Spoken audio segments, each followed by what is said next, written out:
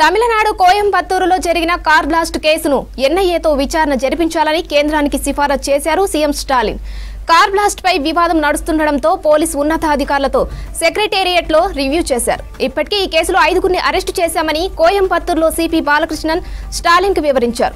అయితే కార్ బ్లాస్ట్లో చనిపోయిన మొబిన్కు టెర్రరిస్టులతో సంబంధాలున్నాయని గతంలో ఎన్ఐఏ విచారించింది. పేలుడు పదార్థాలు తీసుకెళ్తున్న సమయంలో బ్లాస్ట్ జరిగిందని పోలీసులు అనుమానిస్తున్నారు. ఇప్పటికే కోయంబత్తూరులో హై అలర్ట్ ప్రకటించారు. రైల్వే స్టేషన్ బస్టాండ్స్లలో నిఘా పెంచారు.